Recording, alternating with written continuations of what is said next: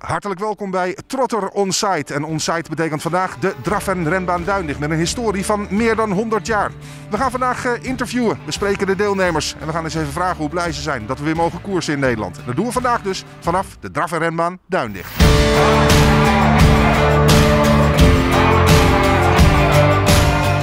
En Willem van der Pijl, blij dat er weer wat gebeurt op Duindicht? Ja, ik ben hartstikke blij eh, dat de paardensport weer een beetje eh, aan de gang gebracht wordt. En dat eh ja, met de opening het voortouw een beetje hebt.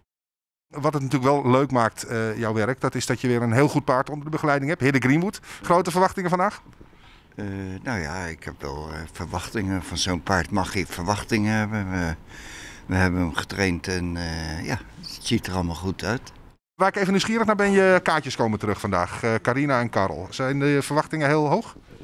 Nou, die, die, oh, het, het waren goede paarden als driejarige en het zijn nog steeds goede paarden. En voor mijn gevoel zijn ze ook iets eh, verbeterd ook de winter door. Dus ja, eh, laat ik het zo zeggen, vandaag is nog niet de vierjarige derby. Maar eh, ik denk dat ze allebei goed voor de dag komen. Staat er nog iets buitenlands voor je op het menu, eerdaags? Eh, als je het buitenland mag noemen, aans- aanstaande woensdag in Mons. dat, is, eh, dat is buitenland, dus eh, nou ja, dat- dat, staat op het menu. En voor de rest op korte termijn niet. Die neem je mee naar ons?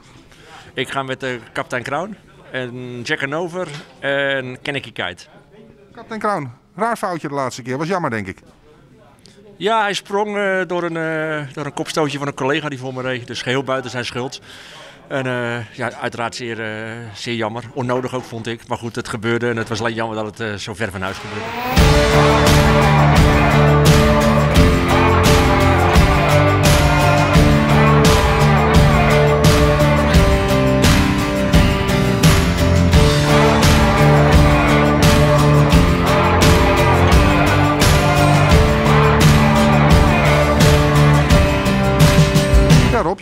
Dat was boven verwachting, denk ik. Ja, het liep goed. Ik zag onderweg regelmatig een paard eh, zich bezondigen aan een galopade. En ik kreeg hem eigenlijk ja, een droomparcours. Ik kon eh, rustig beginnen en toen op de rug van Sini. Wat ik al een, nou ja, een, een, geduchte tegenstander vond. Want Sini komt niet voor niks de reis uit het noorden maken. En ik, kon mooi, eh, ik liet me even mijn gezicht even zien en zij trok voor me uit. En zij bracht me precies waar ik wezen moest. Alleen ik was net niet sterk genoeg om eroverheen te lopen. Maar dik tevreden. Giel Wildhagen, je bent de dag goed begonnen met een eh, mooie derde plaats met eh, JC El Salvador Rocks. Ik schat zo in boven verwachting, want je had hem vrij zwaar ingeschreven. Eh, nee, eh, dat was de enige optie. Hij kon, eh dat was een koers tot 1500, maar daar kon hij net op eh 20 euro geloof ik niet meer in. Dus dit was de enige optie om te laten lopen. En ik denk, hij moet maar een keer lopen. En, eh, dus dit was eigenlijk de enige optie om te laten lopen. Maar oh, ik had er wel verwachtingen van hoor, maar eh, hij ging goed. Ik had een koers tot 1600 gezien op dienstlagen. Oh zo, ja. Nee, ik ga toch liever naar Nederland. Ja, dat horen we heel graag, dat horen we heel graag. Nou, die liep uitstekend. Eh, dan mag zo meteen nog ehm, Galaxy Freo doen. Je staat er wel mooi aan kop, hè? Staat zeker mooi, kan goed vertrekken. En eh, ze traint ook goed. Dus ja, we gaan het proberen. Het is 1900 meter en dan 40 meter geven, moet die paarden geven. De derde band. Dus dat is nogal wat op een 1900 meter. Dus ik, nou, als die bij deze drie is, ben ik ook tevreden. Het paardje gaat graag van kop af, maar ik denk ook dat je er aardig moedeloos van wordt als je de laatste bocht uitkomt, of niet? Ja, en er staat veel wind op, eh, op de kop. En, eh, maar, ja, maar ja, kijk, als je zo startnummer hebt, dan eh, heb je weinig keuze natuurlijk. Dus eh, nou ja, we gaan het zien. Maar onder de eerste drie zou jou niet verbazen. Nee, Als je heel goed loopt, komen we nog even terug. oké. Johnny Westerbrink, je vloog net naar de overwinning met eh Heine Tech. Dat was best een verrassing, of niet? Nou, voor mij eigenlijk niet. Beetje is eh, goed in orde en eh, hij komt elke keer heel af. Ja. Dit, is dit zijn favoriete baantje, dus eh, Duindig loopt hij het best. ik denk het wel. Zoals hij vandaag afkwam, dat was niet normaal. Is maar goed dat we hier weer koers, hè? Gelukkig wel, ja. Hé, maar John, van jij, jij hebt een wat, wat andere carri- eh, carrière switch gemaakt. Leidek heb ik begrepen. Ja, klopt. En dat bevalt? Ja, ja. Heeft dat ook te maken dat je nu dat, die andere basis hebt, dat je ineens topvorm hebt op de koers? ja misschien wel. Ik help een beetje bij Hans op stal en krijg nou wat kantjes nou. Zelf train je nog twee eigen paardjes. Ik heb zelf twee paardjes, ja. Die zag ik goed gaan, laatst die bier. Ja, is een lekker beestje. Moet nog wel wat sterker worden, maar eh, komt goed. Al met al een tevreden man. Ja, super. Vertel, wat is het verhaal? Ferran Convital, hij, hij stond niet bij jou. Hij eh, is een jaar rijpaard geweest. En ik heb hem teruggehaald. En daar heb je geen spijt van, want dit was indrukwekkend. Eh, Die wilde Monté mee rijden, een meisje. Die wilde er ook eh, endurance mee rijden. Maar ik zeg, eh, op gras, eh, hij heeft bij Rotekat er op gras ook al een keer heel goed gelopen. Het is een enorm sterk paard. Maar eh, ja, op de Sintelbaan is het natuurlijk een ander verhaal. Maar dat is mooi dat, uh, dat Duinlicht weer open is dan.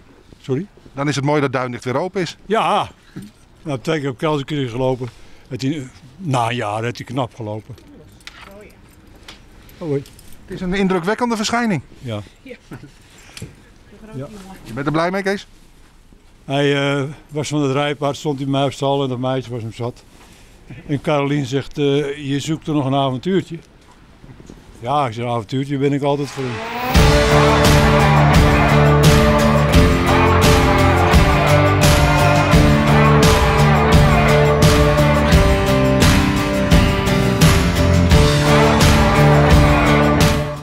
Kooijman, straks in de negende koerspaard nummer 2, SJS Bayaro. Ik uh, moet zeggen, de eigenaresse verwees me door naar jou. Want ze zegt, uh, Tom kent hem veel beter dan ik. Dat hoop ik wel, ja. Wat is het verhaal van het beestje? Want uh, zij hadden er eigenlijk weinig geloof in vroeger. Hij is inmiddels vijf en Tom heeft altijd gezegd, jongens, niet opgeven. Het is een paardje met heel veel talent. Maar hij heeft, hij heeft helemaal geen power in zijn lijf. Hij heeft al die jaren heeft hij lopen hampelen en doen goede stukjes en dan weer helemaal wegzakken. En voordat hij nog een zeer voorknie. Maar hij heeft nu goed gekwalificeerd met een hele grote fout in 20. Dus ik reken er vandaag wel een beetje op dat hij voor vandaag een prijsje gaat lopen, Rogier. Ja, want als hij die fout niet maakt, dan loopt hij? Ja, loopt hij een seconde harder. Ja. Nou, dan loop je hier 19,5 en dan ben je niet zo slecht. Ik hoop het. Ik hoop dat het geduld beloond gaat worden. Het is wel, zou wel verdiend zijn, Rogier. Ja, heel goed.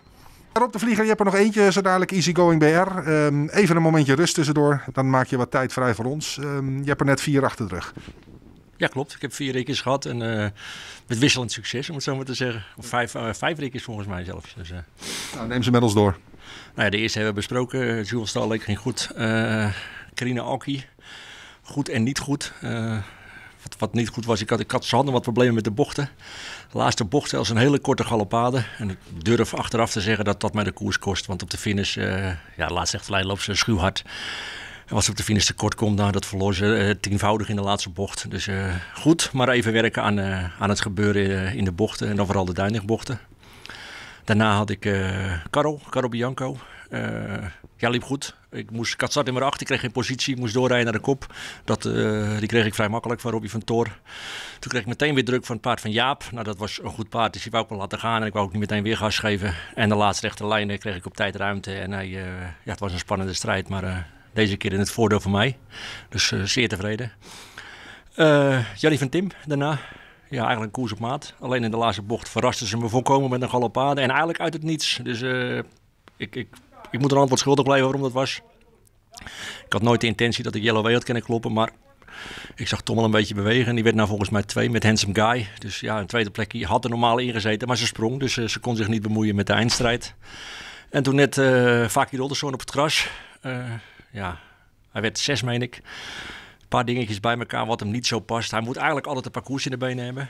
Dat is, uh, dat is wel een dingetje bij hem. Hij moet uh, ja, echt, echt wel drie, vier starts in de benen hebben. Hij had altijd wat een zware begin van het seizoen. En, uh, plus het feit dat Duindicht op de een of andere manier... Ik weet niet waarom, maar dat ligt hem eigenlijk nooit zo. Hij heeft misschien één keer gewonnen in een grijs verleden. Maar dan stond hij nog vrij laag in zijn winsom. En nu, uh, ja, zeg ik, moest net 25 meter geven. Het was best wel een harde koers, maar hij, uh, ja, hij, hij, moet wat koers in de benen hebben. En naar dat gewone grascircuit, dus ik hoop dat die straks ook weer losgaan. En dan, uh, ja, dan hebben we er nog eentje straks. En dat wordt even laag vliegen op het laatste stuk. Ik hoop het. Als die zijn speed kan bewaren, dan ja, tegen de twee lange wegpupillen. ja, we gaan het zien. Maar het gaat, ik denk dat het tussen die drie paarden gaat.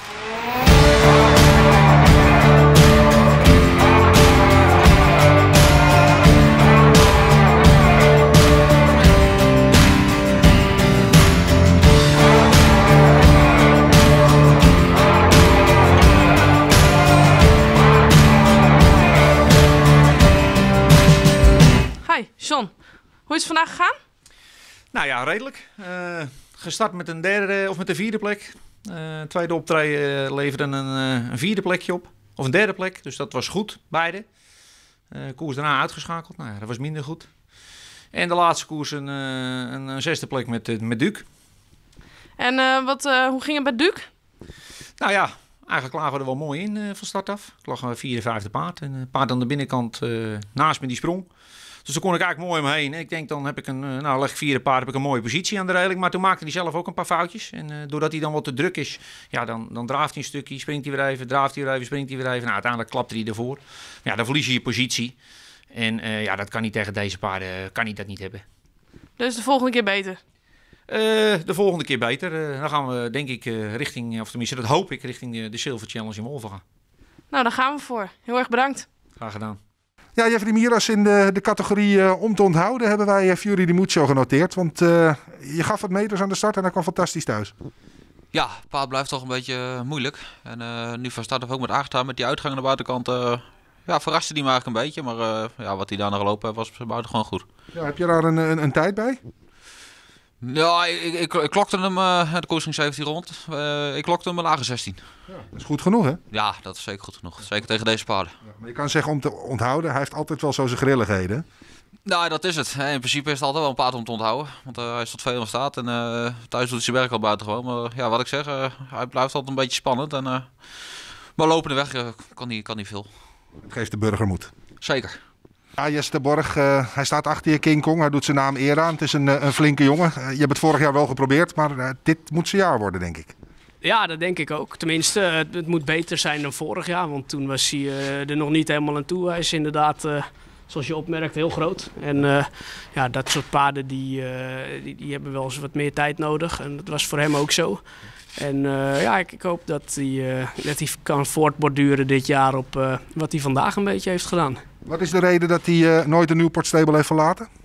Ehm, nou, hij had een klein, ja, een, klein mankement als jaarling. Waardoor hij moest worden teruggetrokken van de veiling. En dat, ja, het, was ongewis of hij daar nog last van ging krijgen. We hebben, dat wel, we hebben wel een, een, klein euvel gevonden toen en dat ook behandeld. Maar goed, we hebben toen ervoor gekozen om, ja, om, om dat paard niet te verkopen. Omdat het mogelijk misschien dat euvel hem toch nog parten zou gaan spelen. maar vooralsnog lijkt, het, ja, lijkt hij ermee te kunnen leven. En ben jij blij dat je hem nog hebt staan? Ja, absoluut. Ja. Ja, Jaap, de winnaar van de laatste met, uh, met Irish Steel. Ik denk dat jou, uh, jouw concurrenten het jouw cadeau gaven doordat zij onderweg al aan hun speed zaten. Ja, klopt. Ik koos er ook bewust voor om terug te gaan. Uh, stond niet echt een koploper in deze koers. Happy Hollandia is in principe, zou van kop af kunnen, maar was ook de eerste keer uit. Dus, en kreeg een paar aanvallen onderweg. Dus dat was niet het ideale koersloop voor Happy de eerste keer uit. Maar ehm, ja, Rob de Vlieger die kreeg aan de overkant nog een kleine zwieper van van uh, Joko's W. Dus die moest toen ook weer doorrijden. En uh, kon ik daardoor de laatste bocht nog uh, op Vin zijn rug. En ja, eigenlijk was toen zo gebeurd. Ik zag dat de vlieger er wel uitsprong, maar voor mij moeilijk te, ja, in te schatten hoe, hoe, ver hij voor lag. Of, of, had je hem al bijna te pakken? Nou, volgens mij was ik er al naast. En ja, ik, ik, zat zo makkelijk. En ja, het was eigenlijk een zekere overwinning. Ja, bijzonder beetje, ook zo van rust af gelijk weer. Ja, klopt. Dat is een paard die in de training zich niet heel erg aan laat zien. En ja, eerste keer uit. Ik weet nog wel een koers tegen Ahoura Mazdafon. Toen ging ik ook van huis uit terug. En uh, toen klopte ze ook Ahoura Mazdafon. Dus ik, ja, daar dacht ik een beetje vandaag aan. Ik denk, ga vandaag ook maar terug. Maar uh, dat pakte goed uit. En uh, zo de eerste keer uit. Dus het belooft het weer wat. Ook voor Wim Hendricks. Die wil in de amateurkoersen natuurlijk weer hoog hoog gaan gooien. Dus ook voor hem ziet het er goed uit dit jaar. Met Edens Boy en Iris Steel. Ik ben wel hoor, voor het kampioenschap. Jij niet? Nou, met deze twee paarden. En het zijn twee paarden met, met in de winstomklasse voor amateurs. Dus ja, hij heeft goede kans. Arie van Bellen, de dag zit erop. En uh, aan jou uh, het slotwoord. Ja, heel blij. Heel blij en voldaan. Uh, tien koersen. 90 paarden hebben mee kunnen doen. Mooie koersen. Heel veel verschillende winnaars. En ook spanning, sensatie. Ik weet nog niet over de omzet. Ik hoop dat het ook meevalt. Maar ja, we zijn weer bezig. er is een soort bus op Duinlicht nu. Over positivisme, doorgaan. Dus het begin is er en ik hoop ook echt dat het een domino-steen is naar andere banen toe. Dat we gewoon mogen, want het ging perfect vandaag. Hartstikke mooi, Arie. Um, laatste vraag en dan ga je ook lekker van je zondagavond genieten. Wij kunnen jou verwachten hè, in de Trotter Week Update. Ja, met heel veel plezier. En ik, ik ga even nadenken waar we het allemaal over gaan hebben.